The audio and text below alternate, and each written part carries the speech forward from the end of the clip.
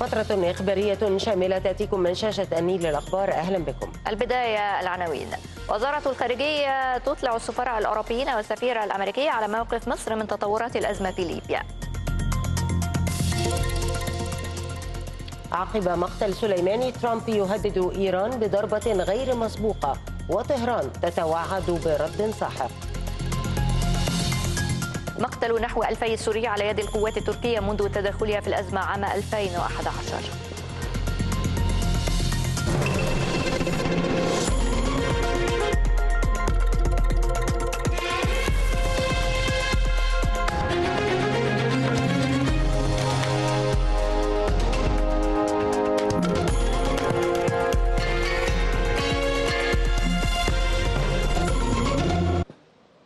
أهلا بكم من جديد؟ أطلعت وزارة الخارجية السفراء الأوروبيين والسفير الأمريكي المعتمدين لدى القاهرة على موقف مصر من تطورات الأزمة في ليبيا. أشارت الوزارة في بيان لها إلى أن موافقة البرلمان التركي على إرسال قوات إلى ليبيا يعد بمثابة انتهاك للشرعية الدولية وحذرت من تداعيات هذا القرار.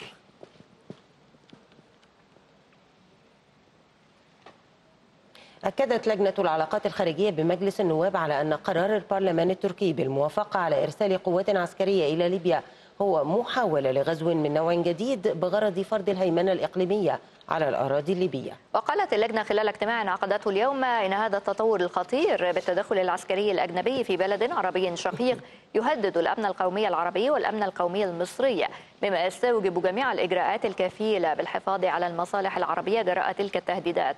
وطلبت بضرورة تحمل المجتمع الدولي مسؤولياته تجاه القرار التركي بإرسال قوات لليبيا وتحذره من تداعيات هذه الخطوة.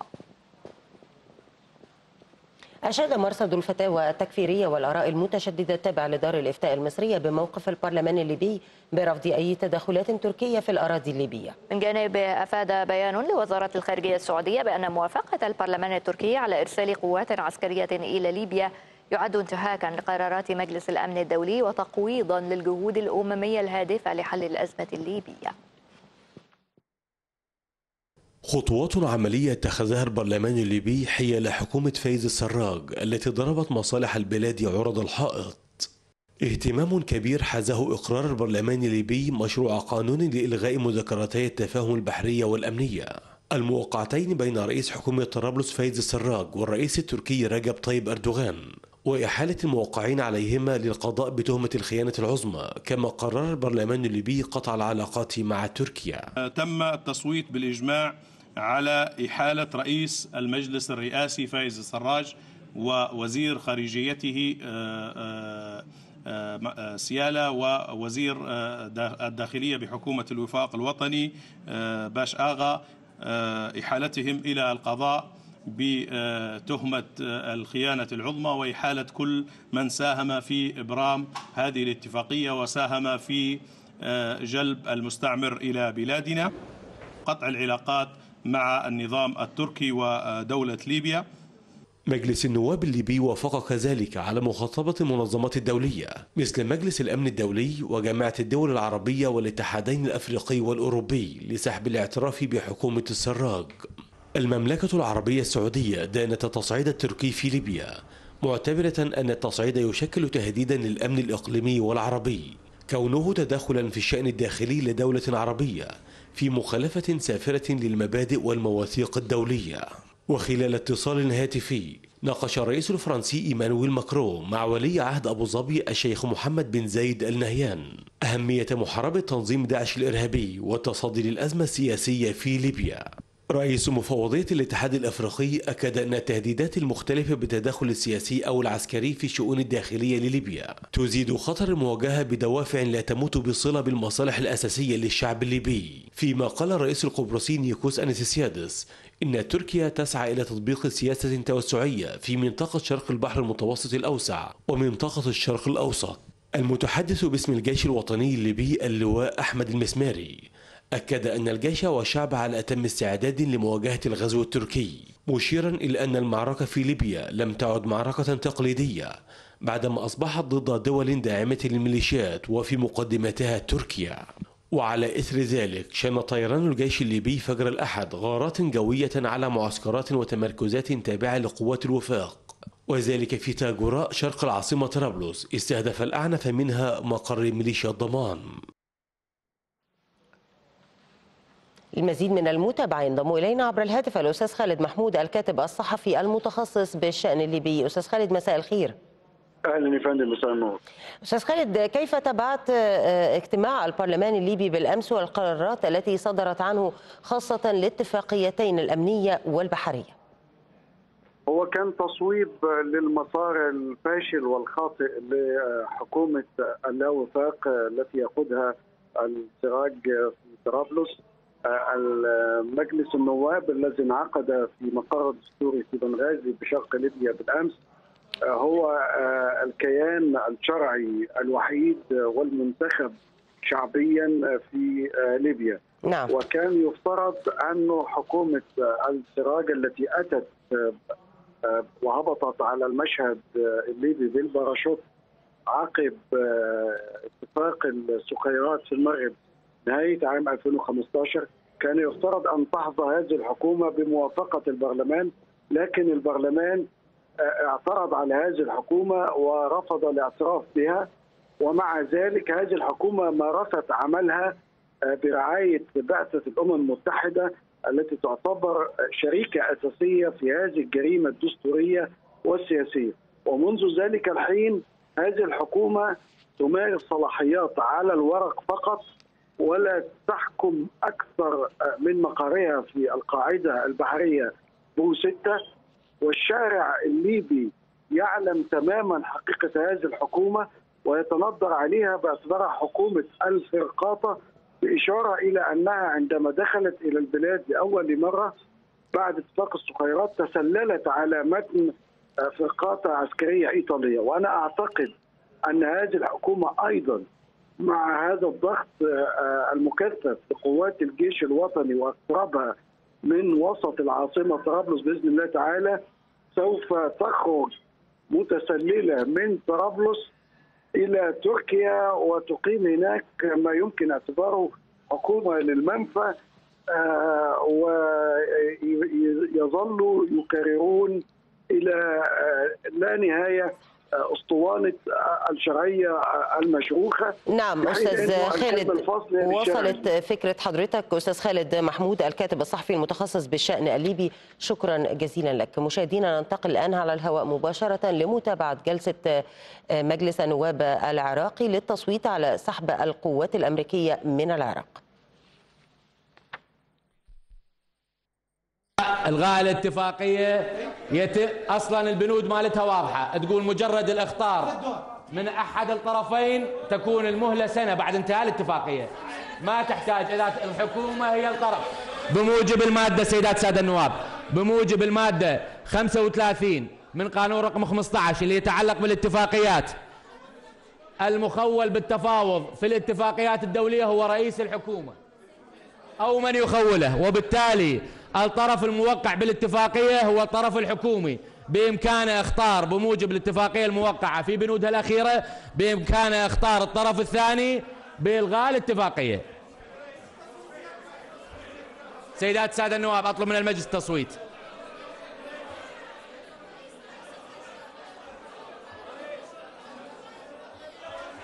شنو المطلوب؟ سيد النائب الأول.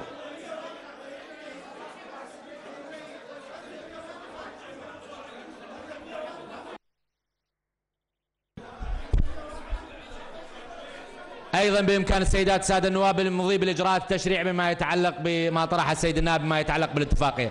تمت الموافقة على القرار.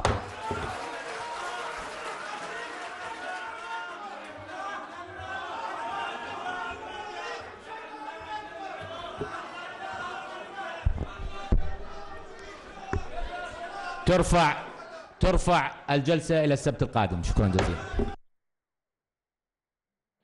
مشاهدينا تابعنا جلسة البرلمان العراقي للتصويت على سحب على سحب القوات الأمريكية من العراق بموجب المادة رقم 35 للقانون رقم 15 والتي تقضي في بنود هذه الاتفاقية أنه يحق للطرف الأول إلغاء الاتفاقية مع الطرف الثاني وبالتالي تم التصويت بالموافقة. نتابع مشاهدينا آه، أخبارنا من آه، هذه الفترة الإخبارية الشاملة. قال قائد الجيش الإيراني أن الولايات المتحدة تنقصها الشجاعة لخوض نزاع مع طهران على حد تعبيره. جاء ذلك ردا على تهديدات الرئيس الأمريكي دونالد ترامب بتوجيه ضربة غير مسبوقة لطهران. إذا هاجمت الأخيرة الولايات المتحدة مجددا محددا 52 موقعا إيرانيا من بينها أماكن تاريخية يمكن ضربها إذا هاجمت إيران أي أمريكيين أو أي من أي أصول أمريكية. بينما تدور المواجهة بين الولايات المتحدة وإيران في الخليج يقترب الصراع غير المتكافئ بينهما من الخروج على السيطرة. فمنذ ثمانينيات القرن الماضي كان الصراع بين الدولتين في الأروقة الدولية وعلى الطاولات السياسية إلا أن أمريكا غيرت قواعد اللعبة وبدأت في المواجهة العلنية بعد تهديد مصالحها في العراق بيد فصائل موالية لإيران. الموقف أصبح تهديد من جانب طهران فلا صوت يعلو هناك فوق صوت الانتقام لمقتل رجلهم القوي الجنرال قاسم سليماني قائد فيلق القدس بالحرس الثوري الإيراني. تهديد يقابله وعيد من الجانب الأمريكي. فالرئيس الأمريكي حدد 52 هدفا ايرانيا مؤثرا لضربها إذ تم مس أي مواطن أو مصالح أمريكية في أي مكان بالعالم. وكتب ترامب في تغريدة على تويتر مهددا الإيرانيين بالضرب بشكل أقوى مما ضربوا مؤكدا استعداد بلاده لاستخدام معداتها العسكرية الجديدة بلا تردد إذا رد الإيرانيون. تهديد ترامب رد عليه الجيش الإيراني مؤكدا أن واشنطن لا تملك الشجاعة لتنفيذ ذلك. كما حذر وزير الخارجية الإيراني محمد جواد ظريف الرئيس الأمريكي من مغبة القيام بهذه الخطوة باعتبار أن استهداف مواقع ثقافية جريمة حرب. إيران تحركت دوليا وسجلت اعتراضا شديدا لدى أنطونيو غوتيريش الأمين العام للأمم المتحدة ومجلس الأمن على اغتيال أمريكا لأحد أهم رجالها. في حين خرج البرلمان الإيراني بلهجة عنيفة ووجه متحدث باسمه رسالة إلى ترامب متهمه بارتكاب جريمة أخرى. ومنذ فترة طويلة استقر النزاع بين الولايات المتحدة وطهران على حدود لم يتجاوزها الطرفان إلا أن العمل الذي أسمته واشنطن وحلفائها بالدفاع حرك مياها لم تركض يوما. بعث البيت الأبيض اختارا رسميا للكونغرس عن الضربة الجوية الأمريكية التي قتلت القائد العسكري الإيراني قاسم سليماني الجمعة. وذلك وسط شكاوى الديمقراطيين من أن الرئيس دونالد ترامب لم يخطر النواب بتنفيذ الهجوم بموجب قانون صلاحيات الحرب الأمريكية. من جانبها قالت رئيسة مجلس النواب الأمريكي نانسي بيلوتسي أن الإخطار أثار تساؤلات خطيرة وعاجلة بشأن التوقيت والأسلوب وتبرير إدارة ترامب قرار الخوض في أعمال قتالية في ضد إيران. في الوقت نفسه تجمع مئات المتظاهرين في مدينة سياتل الأمريكية للتعبير عن احتجاجهم على الإجراءات التي اتخذتها واشنطن فيما يتعلق بتطورات الأوضاع في العراق وإيران. مشيرين إلى أنها تمثل تصعيدا قد يؤدي إلى حرب. دعا وزير الخارجية الأوروبي جوزيف بوريل وزير الخارجية الإيراني جواد ظريف إلى بروكسل. كما دعا بوريل إلى تجنب أي تصعيد جديد بعد مقتل الجنرال الإيراني قاسم سليماني في ضربة أمريكية في العاصمة بغداد. كان بوريل قد بحث مع ظريف خلال اتصال هاتفي أهمية الحفاظ على اتفاق فيينا حول النووي الإيراني.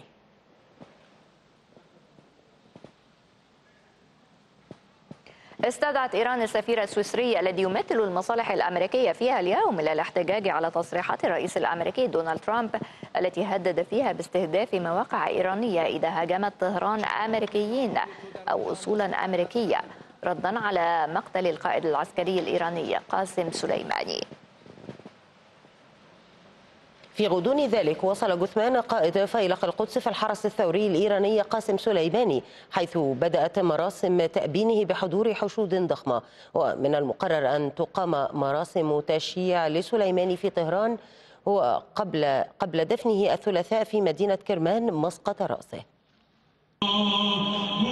حشد هائل اجتاح شوارع مدينة الأهواز الإيرانية للمشاركة في تشييع جثمان قائد فيلق القدس في الحرس الثوري الجنرال قاسم سليماني الذي اغتيل بضربة جوية أمريكية في العراق. ووصل جثمان سليماني في ساعة مبكرة الأحد إلى مطار المدينة الواقعة في جنوب غرب إيران والتي تضم أغلبية عربية كبيرة. وخيمت مشاعر الحزن والغضب على الحشود الكبيرة في الأهواز عاصمة محافظة خوزستان التي تضررت بشكل كبير في الحرب العراقية الإيرانية بين عامي 1980 و 1988 والتي بدأ اسم سليماني يلمع خلالها. ومن المقرر أن تستمر مراسم التأبين ثلاثة أيام تكريما له في إيران من الأهواز إلى طهران ثم مشهد وقم قبل دفنه الثلاثاء في مدينة قرمان مسقط رأسه بجنوب شرق البلاد. في الوقت نفسه هدف أعضاء البرلمان الإيراني المؤلف من 290 مقعدة ضد الولايات المتحدة أثناء وقوفهم في وسط البرلمان للاحتجاج على اغتيال قاسم سليماني. وتأجج النزاع بين طهران وواشنطن عقب انسحاب ترامب من الاتفاق النووي الإيراني مع القوى العالمية. فيما أثار مقتل سليماني في العراق المخاوف من مواجهة محتملة بين الجانبين في منطقة الشرق الأوسط.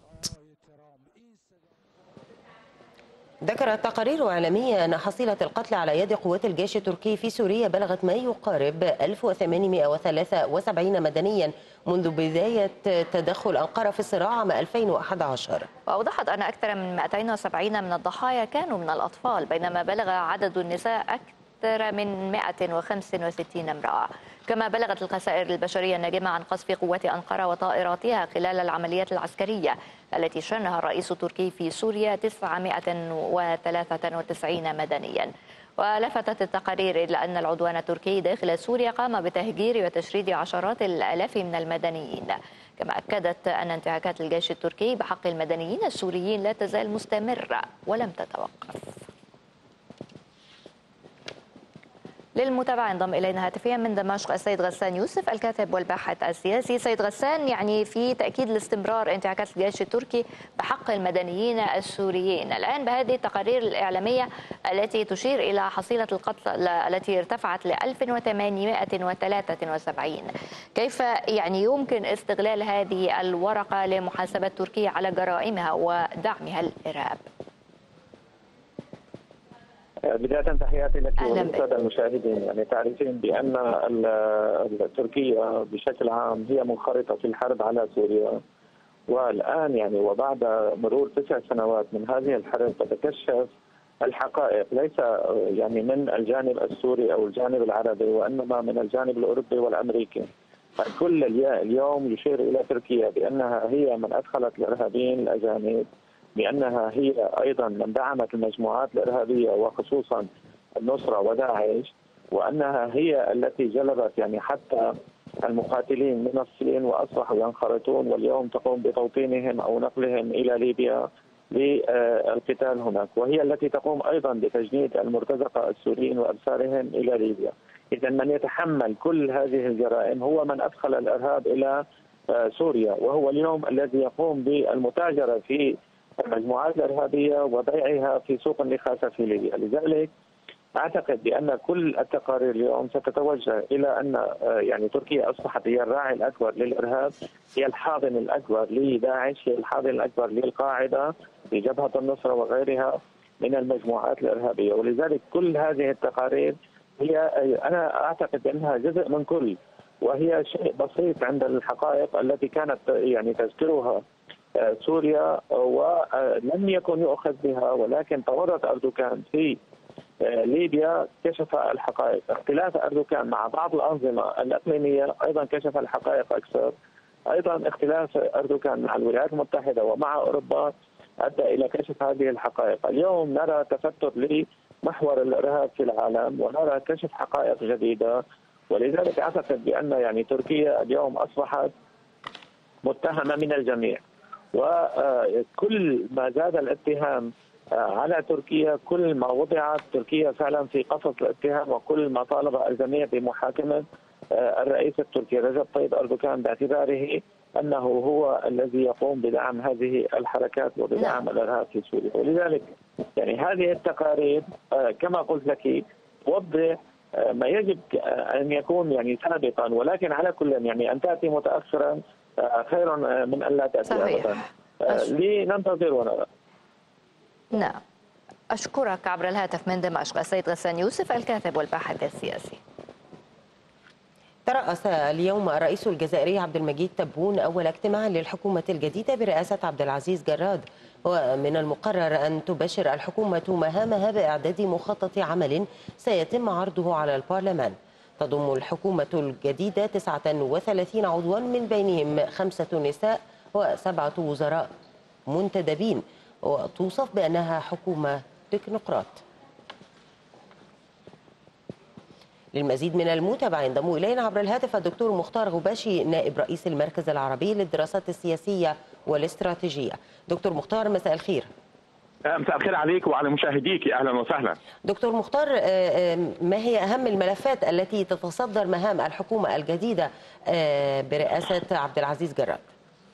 يعني دعينا نبارك للجزائر تشكيل الحكومة الجديدة آه، في ظل اضطرابات وجدت داخل الجزائر وكانت لها مطالبات كثيرة آه، متصور ان الخطاب اللي أتى به عبد المجيد تبون الرئيس الجزائري آه، في أول يوم لحفل تنصيبه أعطى شكل من أشكال الاطمئنان لهذه الجمهور الحاشدة الموجودة في ساحات كثير جدا من الأماكن آه، داخل الجزائر. اجتمعت الحكومة اليوم برئاسته وهذه الحكومة اللي ضمت في طياتها آه، خمس سيدات.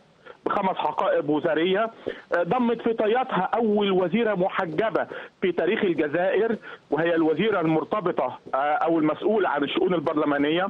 وضمت في طياتها أصغر وزير ربما في تاريخ الجزائر هو وزير سنه 26 سنة. نعم. مسؤول عن المشروعات الناشئة وأنا متصور إن الحكومة الجزائرية أولى مهامها هي كيف تعطي رسالة اطمئنان لهذه الحشود اللي كانت موجودة في الشارع وبدرجة أو بأخرى تتعاطى مع مطالبها خصوصا إذا كانت مطالب مطالب مرتبطة بتعديل الدستور أو مطالب مرتبطة بالإفراج عن المعتقلين أو مطالب مرتبطة بمكافحة الفساد وغيره من الملفات الهامة وعبد المجيد تبون أعطى 54 تعهدا في بداية آه، آه، انتخابه ومتصور إنه هو جاد في تنفيذ هذه المطالب.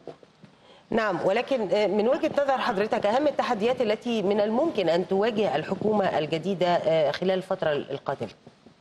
يعني خليني أقول لك التحدي الأكبر هو إرضاء الشارع. أنا من وجهة نعم. نظري ده تحدي كبير جدا. التحدي الثاني هي كيف تعطي لهذه الحكومة رسالة إيجابية لمحيط مضطرب في الخارج. هي الجزائر هي جارة لدولة ليبيا وعارفين شكل النزاع والصراع الموجود داخل الساحة الليبية آه، في ظل عالم عربي مضطرب. ما هو حادث في سوريا وما هو حادث آه، نعم. في اليمن ما هو حادث داخل العراق. فأمامها ملفين في غاية الأهمية. ملف خارجي مرتبط بهذه الرسالة وهي رسالة إيجابية. نعم. ثم ملف داخلي وهو مطالبات الشارع اللي متصور ان عبد المجيد تبون بحكم سنه وبحكم خبرته 74 عاما. هو قادر على إنه يلبي معظم هذه المطالب في أقرب وقت. نعم. نعم. دكتور مختار غباشي نائب رئيس المركز العربي للدراسات السياسية والاستراتيجية. شكرا جزيلا لك. يستعد المصريون للاحتفال بعيد الميلاد المجيد في أجواء يسودها المحبة والسلام. وأكد الخبراء والمتخصصون أن مصر تبنت نهجا جديدا منذ تولي الرئيس السيسي الحكم في نشر ثقافة التعايش السلمي وقبول الآخر.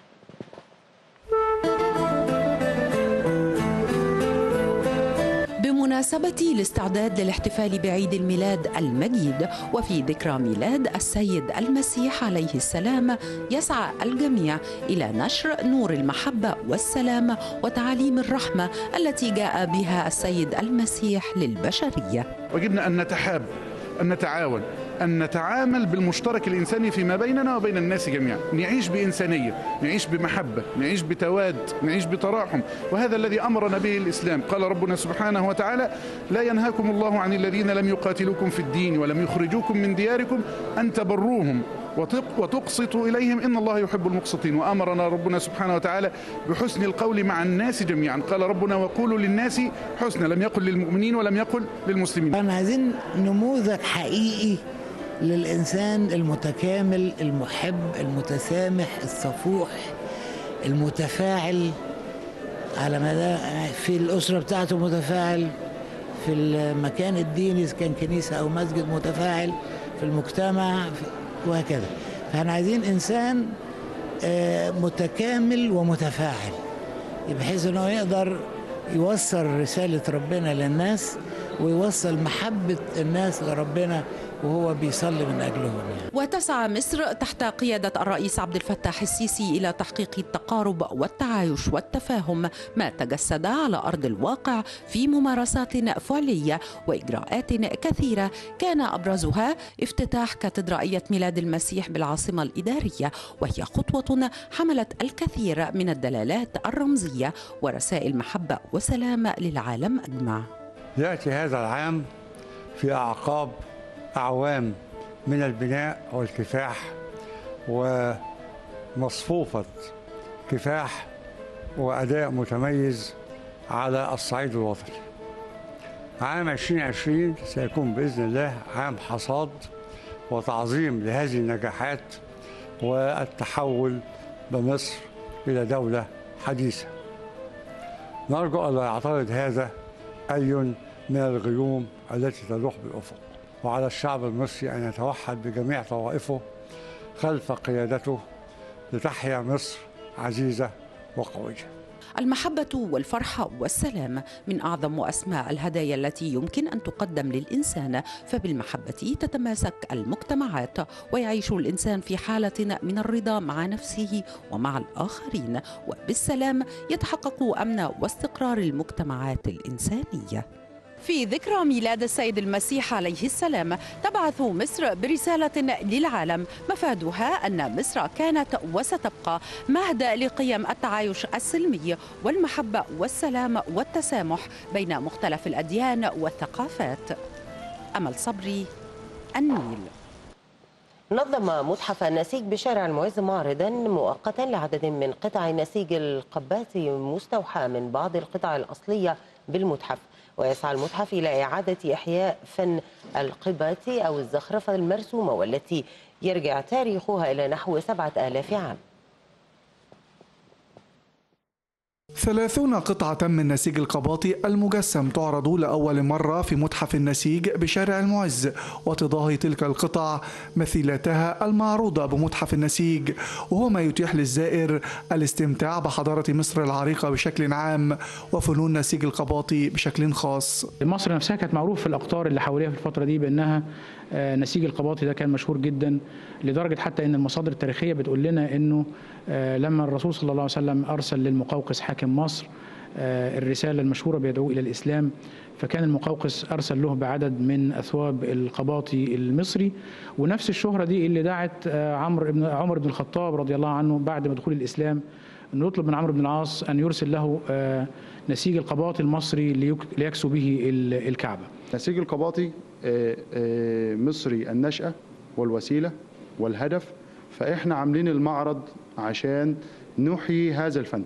ويا ريت يعني وزارة السياحة والآثار في في في ثوبها الجديد يعني انضمام السياحة مع الآثار يعني تتبنى هذه المبادرة لإنتاج منتجات سياحية تساعد في اثراء الهدايا التذكارية للسائحين. فن القباطي أو الزخرفة المرسومة يتم تنفيذها عن طريق لحمات ملونة تنسج جميعها بأسلوب غير ممتد في عرض المنسوج وذلك بالتبادل بين الخيوط الزوجية والفردية وهي ذات الطريقة التي استخدمت في الماضي حتى وقتنا الحاضر في نوعين من التصميم. في تصميمات حديثة ودي يمكن بتقوم بيها جهات أخرى يعني تصميمات حديثة. في تصميمات قديمة اللي هي بتأخذ من القديم. نفس التصميمات الأولى أو التصميمات القديمة للقباطي بتأخذ نفس التصميم وبتعمل منه حاجة تشبه زي عملية استنساخ لهذا التصميم.